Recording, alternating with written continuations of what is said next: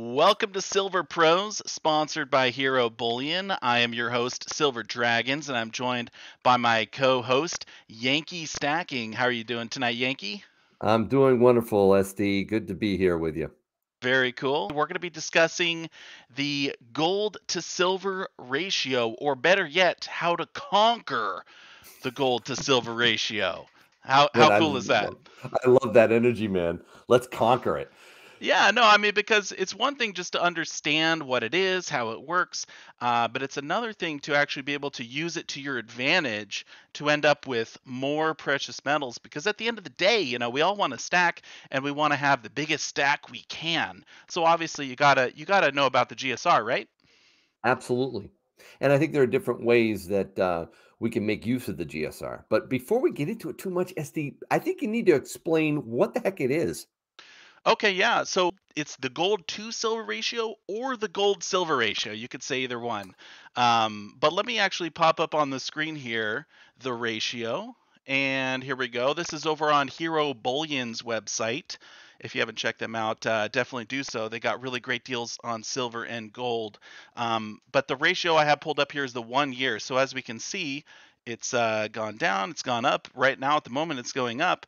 The gold to silver ratio is basically how many ounces of silver it would take to buy an ounce of gold if you don't factor in any premiums. So right Oh, now, okay. it Yep. around 80. We, I mean, we are right, right in the ballpark of 80. So um, hypothetically, if you had 80 ounces of silver and you sold them, you could buy one ounce of gold. But of course, we all know when you factor in premiums, the numbers are going to change, right? Okay. So if I have 80 silver eagles and I'm just desiring a gold one ounce eagle, if I ex- can I exchange those 80 silver eagles for one one ounce gold eagle if the GSR is 80?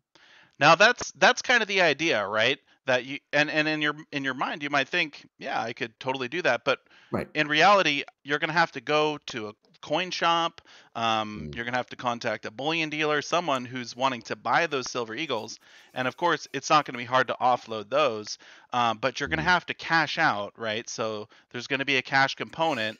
You sell your silver eagles, and then you can buy a gold eagle. Okay, I was going to ask you about that. Cash has to be involved? Pretty much always, it's very, very rare hmm that a bullion dealer or a coin shop is going to be willing to accept your silver and give you gold without any cash. Now, you might have better luck with a local coin shop uh, because, you know, if you know them, perhaps they would be willing to do something like that. But for the most part, you're not going to be able to. Have you ever heard of anyone doing that? Yeah, actually, I I have. People have reached out to me. I did a video on this while back, and people were putting in the comments, Yankee, I've done it.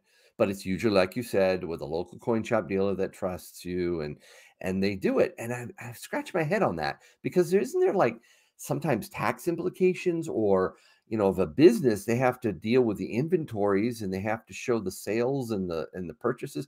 I just don't know if it's really that common. Right.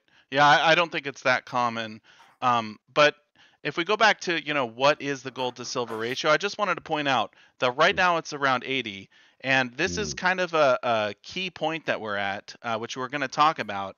But um, if we look at it historically, if we go back to all, we can see it's jumped around quite a bit. I mean, in the late 90s, it went down to the 40s. Uh, mhm. mid 2000s, it was down in the 40s. 2011 went down to the 30s. And uh, just last year, it spiked up to a high of almost 120 ounces of silver to one ounce of gold. So it jumps around a lot. And if you play it correctly, you can actually use this to your advantage. Uh, There's different ways to use it though, right? Some people use it absolutely. some people use it in the physical markets, buying and selling and trading, constantly flipping back and forth or trying to flip back and forth. Others use the paper markets. How else can we use this GSR to our advantage? Yeah, so for me as a stacker, when I look at the GSR, I don't necessarily look at it as, you know, what am I going to sell and buy? I look at it as which of the two metals should I buy? So should I buy gold? Should I buy silver? Because as a stacker, for the most part, you're just looking to accumulate more. You want to build your stack. You're not Mhm. necessarily looking to cash out at any point. So maybe maybe you do that and as as we're going to talk about, it's better to do that at the extremes, uh, you know, at at a Right. dip or at a peak. Uh, but for the most part, when you look at this chart, if the Mhm. numbers are higher, then it's better to stack silver. If the numbers are lower, then it's better to stack gold. So that's a really basic fundamental understanding of the gold silver ratio. All right. so GSR, when it's high, I should be focusing more on silver Yes. or gold? Silver, right? Yep. Yep, And yep. when it's low, you should be focusing more on gold as a rule of thumb. Yeah, so my my general rule of thumb is that if the gold to silver ratio is above 80, which we're at 80 right now, Right. then I focus most on silver. If it's between 80 and 60, combination of gold and silver, and then of course if it goes below 60, focus mostly on gold. Now this Mm. is just what I should be buying. So a lot of people have this Mm. same general rule of thumb, and if you keep those numbers in mind, it'll actually help you out when you're stacking. You know, I do know people that play this uh, in the physical markets. Uh, they buy silver and gold and then they make the exchange. Um, again, a lot of times you have to go through cash, and I don't do it for a couple reasons. One, when I buy silver and gold, I want to hold my silver and gold. I there I hold them and keep them for similar but slightly different reasons between gold and silver. I don't want to sell my precious metals. Right. But the other reason why is because I'm really concerned about what you lose in the transaction, especially around premiums. Yeah, I mean, obviously you're gonna lose premiums one way or the other, um, Mm. because when you when you cash out, clearly you're not gonna get the full premium of when you bought something.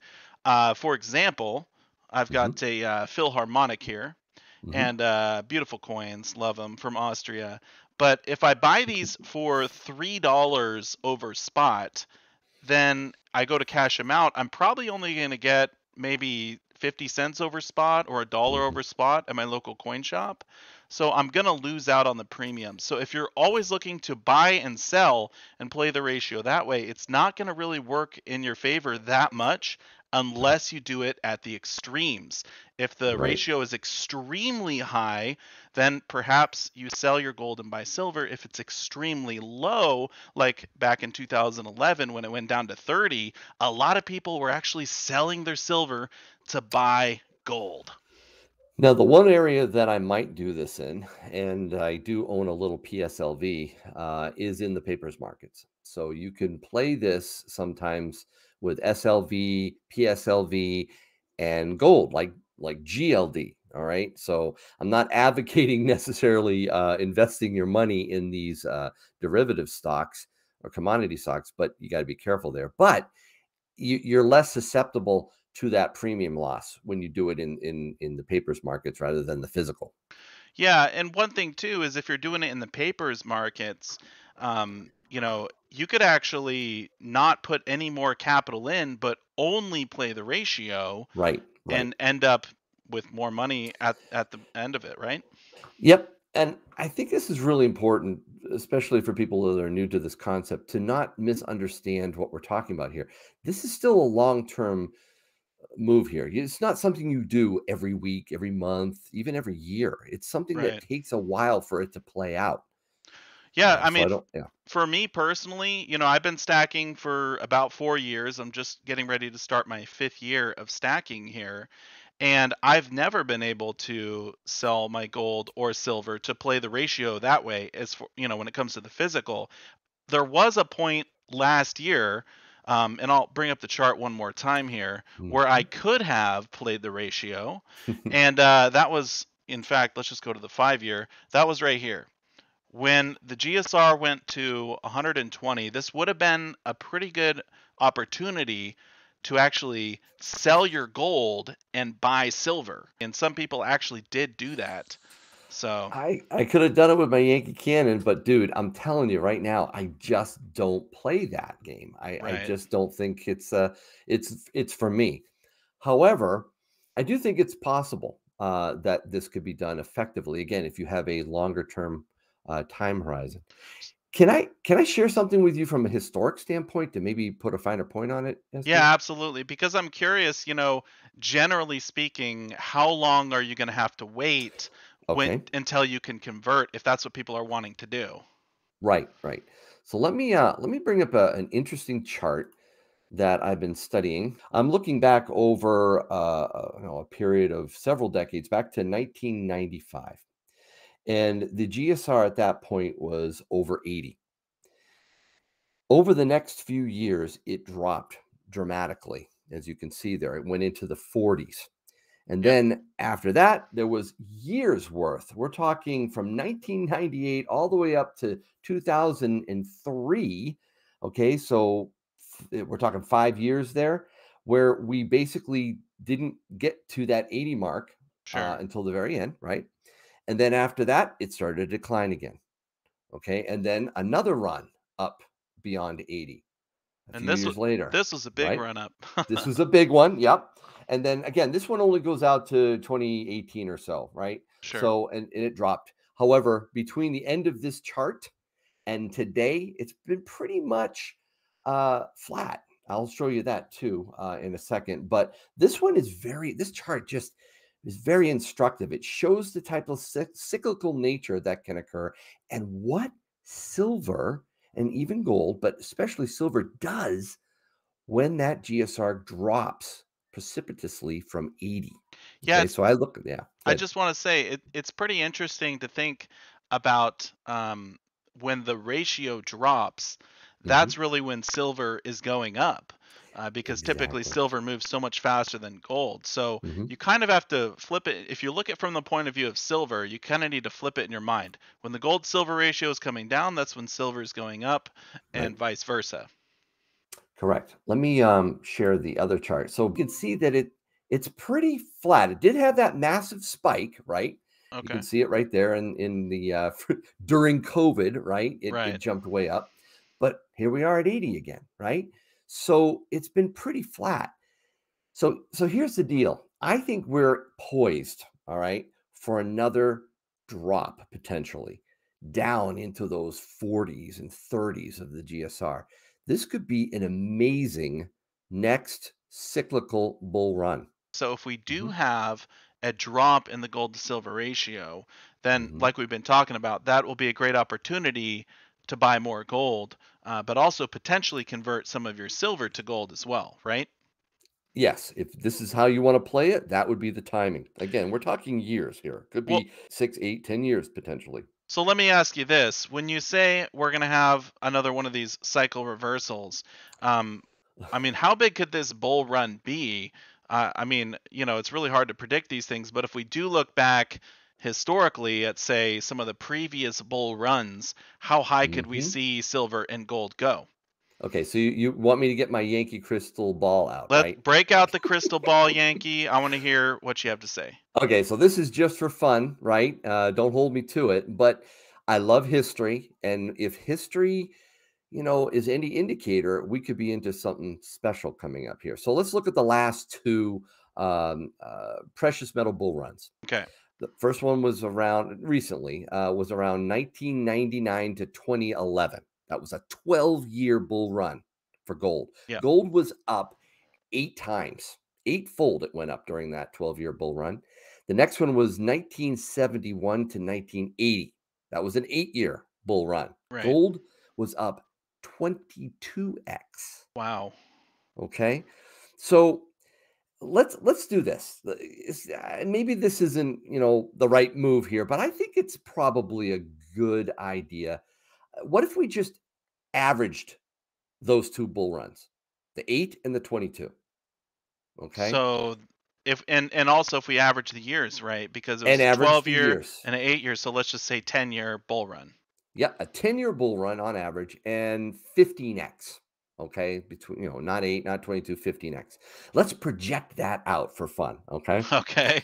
All right. I mean, again, this is just for fun, but the um, uh, gold's bear market bottomed out uh, back in January of 2016. It was, I think, uh, uh, one thousand and forty dollars an ounce for gold.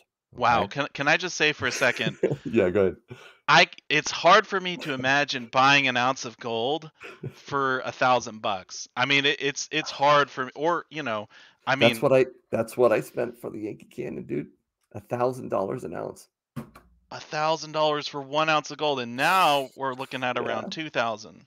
Right. Okay, okay, but but go ahead, continue. on. Okay, so so this is cool. So so if you say 2016 was the bottom, about a thousand bucks an ounce, 15 times that in 10 years, that would mean fifteen thousand dollars an ounce of gold by 2026. oh wow. Now, not saying that's going to happen, but Right. I think it's somewhat logical, somewhat sensible. I mean, if history repeats in any way, you know, that could happen. But let's bring the ratio in now, right? The ratio has been as high as what you were saying, close to 120 or Right. so, and it's around 80 now. What if the ratio was just 50 to 1? Sure. 50 ounces of silver to one ounce of gold. That's definitely uh, in the realm of possibility. Absolutely. That gets you to over $300 an ounce for silver. That's pretty intense. and and That's amazing. and if the ratio went even lower, uh, like Yeah. if it, if it did what it did back in 2011, I mean, you could be looking at four hundred dollars an ounce for silver. okay, yeah, we're, we're we're we're we're dreaming here, maybe, but guys, you can understand why that might be possible, especially if you look at history. Right. So, And and back coming back to the ratio, you know, mhm, I just want to say that from my point of view, whenever I use the gold to silver ratio to decide which precious metal I should be buying, silver or gold, mhm. I typically don't look at just the gold silver ratio as far as you know what a website will tell you it is uh, because they're looking at spot price whenever i look at the gold to silver ratio what i like to do is actually factor in the premiums.